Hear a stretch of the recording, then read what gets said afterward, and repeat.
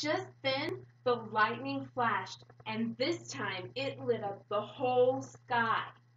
Even before the last flash had faded, the thunder rolled and boomed and crashed and ba-ra-ra-boomed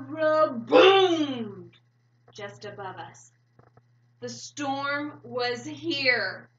Perfect, Grandma cooed. Just perfect.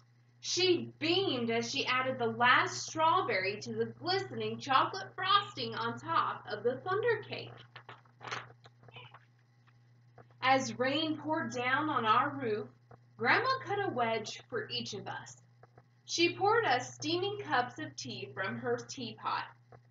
When the thunder rolled above us, just so hard it shook the windows and rattled the dishes in the smiled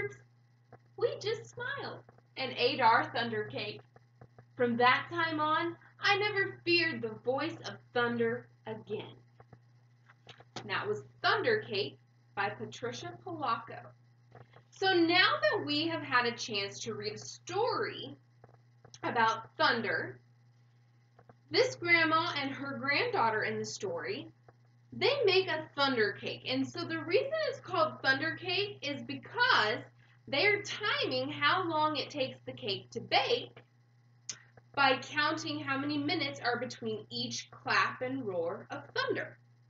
So I want you to think about when we've had thunderstorms here in the Midwest. We live in Missouri, and so it's not uncommon that we have thunderstorms in the spring, especially in the summer.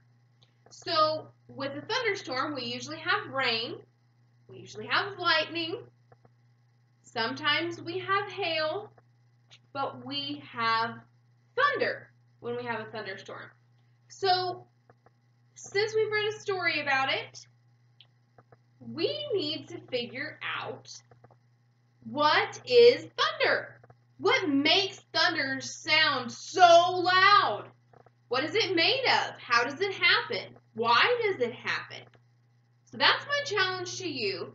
I want you to get on a piece of paper and I want you to write down in your own explanations what is thunder? How does it happen?